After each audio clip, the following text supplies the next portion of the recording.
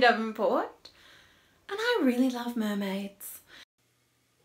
I would like you to sit on my shoulder as I create something in my art journal. Now, usually when I sit down to create and I don't know what I'm going to do, I just feel creative, but I don't know exactly what I want to do. And first of all, I just get some of my stuff out and I get some of my journals out and have a think about what um, feels good to create in in that moment.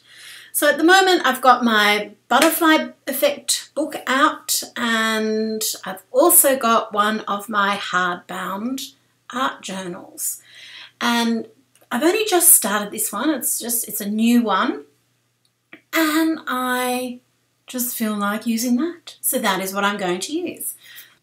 My next step is to just quickly run through the journals. I love doing that, just flipping through and seeing if something calls to me. And I've got this beautiful page that I've already painted. I've used um, my gorgeous colours from the Jane's Favourite uh, paint set of mine also comes with a cute brush and a stencil. And the reason these colors are my favorites is well I love them but also they work so beautifully together. They have a fourth friend in the set and I just know that if you use those colors you can't make a mess because you've got my favorite colors and they're completely beautiful. So to me, they've got just a deliciousness when you put them together that's just yum. And the paint is very, very matte. So you can put watercolor on it, my magic wands, crayons, whatever you want. And rub-ons stick on there beautifully as well. So I adore rub-ons in general, but I especially adore my own rub-ons, of course. And I've got this cute little washi tape set they're like little stickers, fantastic for planners and for journals, diaries, all of those things, but also great for art journals. So I've let my journal speak to me, I've let the pages speak to me, I've let the supplies speak to me. Now I've got a little starting point. So I am cutting out the rub-on leaving the backing paper on there so I can move it around and work out exactly where I'm going to place it. And the reason I love all of my collage elements, rub-ons, those sorts of things that I have in my range is because I can audition. You can do the same thing with the stencils as well and the stamps and you can work out where you're going to put them on the page before you actually uh, put them on there so you can let that give you ideas and let you work that out a bit in ahead of time. So I've popped that down and uh, I'm just pulling out one of my magic wands, which are my coloured pencils, and they work beautifully on my acrylic paint. So I've started drawing in a colour called Mermaid. I've just realised that you can't see that because it's the same as the colour in the background. Much better to use this colour called Ink, which is a little bit darker. Now, I used to be a normal person and just use pencils and other drawing instruments, but when I started teaching online, I very quick, quickly discovered that it's hard to see clearly light coloured pencil. So I started drawing in bright colours and I've never stopped. So I adored drawing in coloured pencil. And when you're drawing with coloured pencil on acrylic paint, you can erase, but what I'd like you to do is try not erasing. For a start, erasing can actually cause a little waxy sort of waterproof area because you know the rubber is getting is smushing the pencil around and you can get a little waterproof area. I say just live with the lines. When you see me drawing, you can see that I'm not worried about being perfect. I'm just letting lines happen where they may and looking at this um, mermaid, as she's going to turn out to be, uh, there's nothing perfect about her. I've got the head, and you know that a head is attached to a neck, so I've drawn a neck.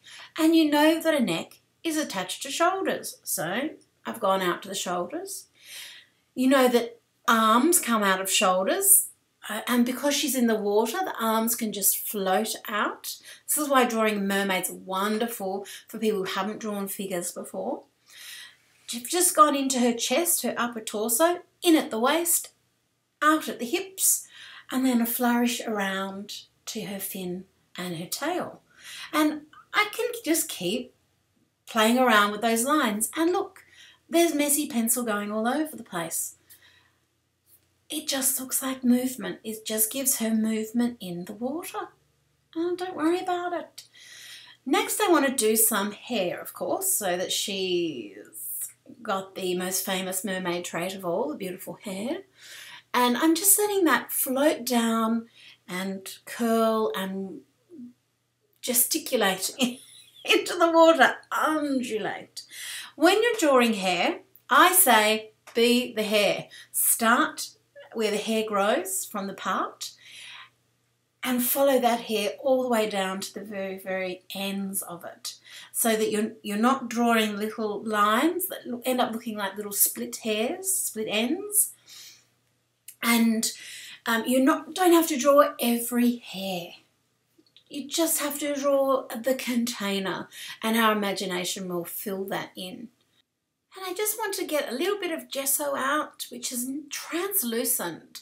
Now I tend to use always use my gesso rather than white paint because it has this nice translucent property and it's very, very, very matte. So it takes other media beautifully.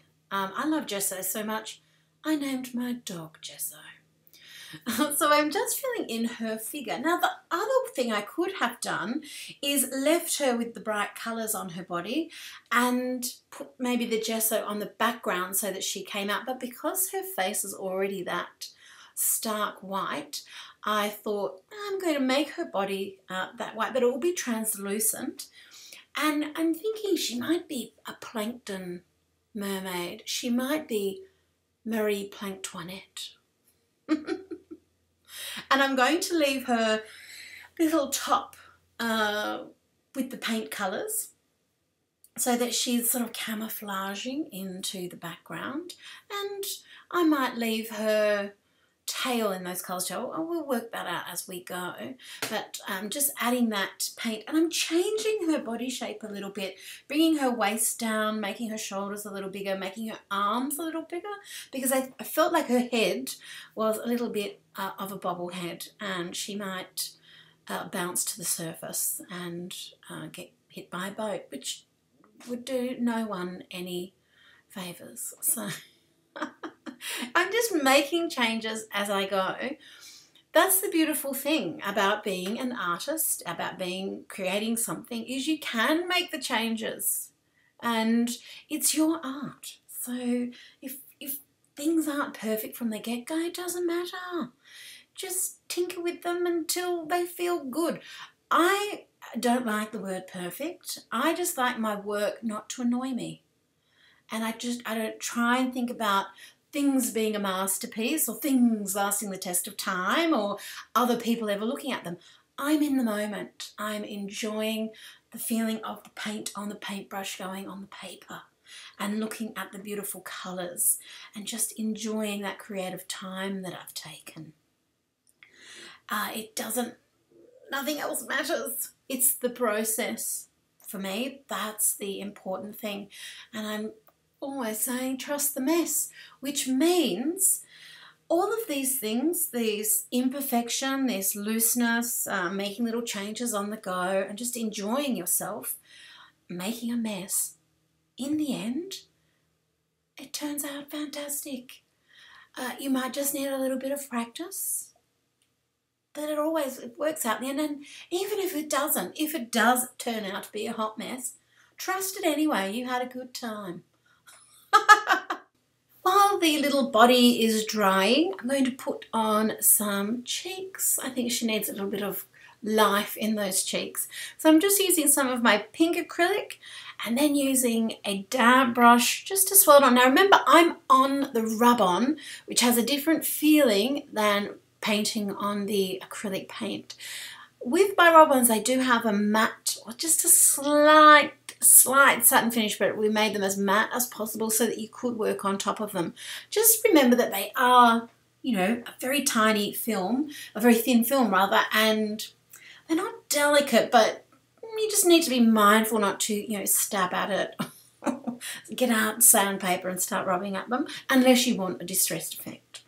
I'm also adding a little bit of gesso on there just to soften, just pastelize that out. So she's got this slight little bit of pink, a little bit of pink in her lips. And now I want to add some definition. Because the rub-on has the darker lines around it, I'm using my incredible pen uh, with the black ink to add some definition to her hair and onto her body as well. Now keep in mind that there is acrylic paint and it's still drying and I definitely do not want that getting in the nib of my beautiful fountain pen. I want it, I want my fountain pen to keep working. So I just need to be mindful of that, that's all. And again, with hair, remember, start at where it grows and be the hair. Grow from the root to the tip. Keep your lines undulating. And we don't need perfection.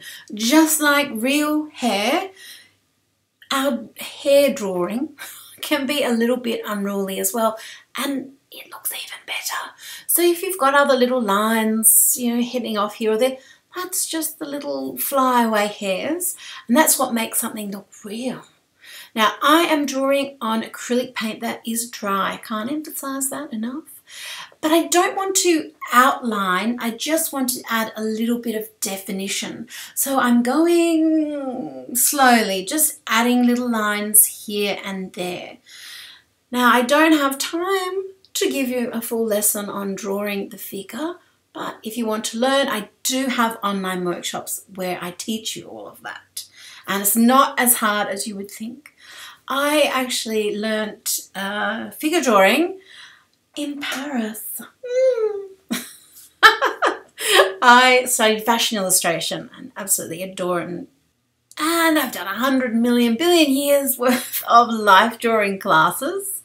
And I bring all of that to my online workshop. So although I can't go, you know, teach you everything that I know in this one little video, that information is around for you. What I'm doing now on screen though is using one of my paint over pens in a colour called, guess what, Mermaid. Uh, I'm using that to outline her just to help pop her out from the background. And this is an experiment just to see how this works. Now, very often I would use white and I would have her skin color actually be a skin color, either, you know, from a light porcelain through to a beautiful ebony dark. But I've already, you know, used that bright white for her plankton because she's Mary Planktonette. I've used that colour already. So I've got to use something else. So I've used my uh, um, mermaid, that beautiful aqua blue, but you can see the effect because I'm using it in the hair because I don't have the white in the hair. See how it pops things out? Now, here's something. When we do something when you add something you think whoa that really makes my drawing pop. Very often we then tend to think right i'm going to add this everywhere. And then you lose that pop because it's you know you've just added it all over the place. So that is when i've done something that i think oh i love that i make myself put down whatever tool i'm using. And let my eyes refreshen, let my thoughts catch up so that I can have a look at what I'm doing before I, you know, dilute what it was that I really, really loved. So I'm being very good putting that pen down, adding a little bit of that blue from the background into her eyes, integration, that's called. And um, hmm, just thinking, what am I going to do to her next? Am I going to colour in her tail? Look how different she is. You would never guess that I got her from Jane Davenport Mixed Media Rub On. She's just this pretty thing. So now I've got to think about what am I going to do for her tail. Do I do turquoise? No, I'm going to go a beautiful dark blue. This the ink colour because she is from the Inky Dips. And uh, maybe this is how she mesmerizes and captures her prey. She sort of glows in the dark and her tail, her powerhouse is hidden. And the beautiful part about my blue is that it's really dark if you put it on in its full intensity, but if you add water to it or a little bit of gesso, which is what I've just put in there, then you can see all of the different blues. It's actually a really beautiful deep phthalo blue and you get such massive variety in the colour and just by putting that bit of white in there and then flapping my brush around a little bit, I'm creating shading. And I didn't really have to even do anything, just create some visual interest. Incidentally, this cute little brush, this cute little turquoise brush, comes with my little four sets of paints.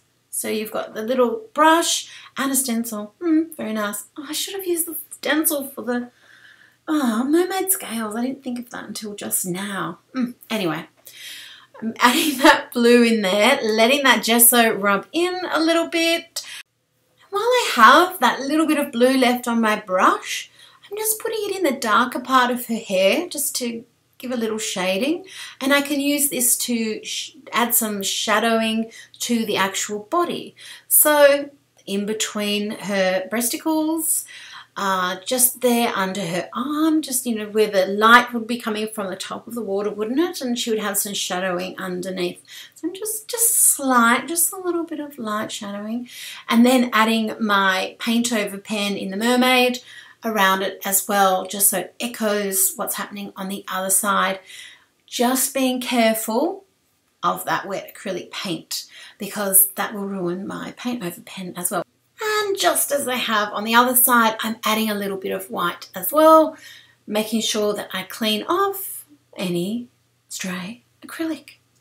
Now I really, really want to add some of my washi phrase stickers on here. So this is actual washi tape and I love how this turns out with the uh, washi tape there, just breaking it apart um, behind her head. It just gives it a modern feeling. And with that white outline, she kind of looks like a sticker herself. I love it.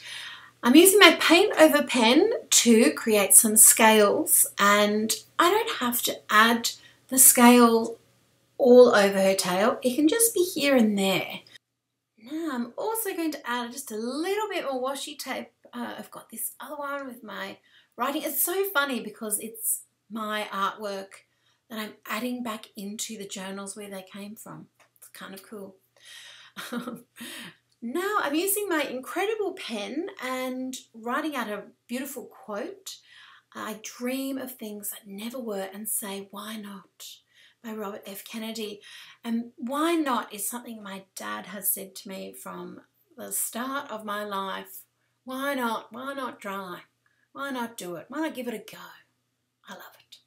Uh, and what I was just doing there is because this is ink on top of paint, it does take a little bit of time to dry. So rather than smear it, which is probably what would happen, just put a bit of paper towel over there.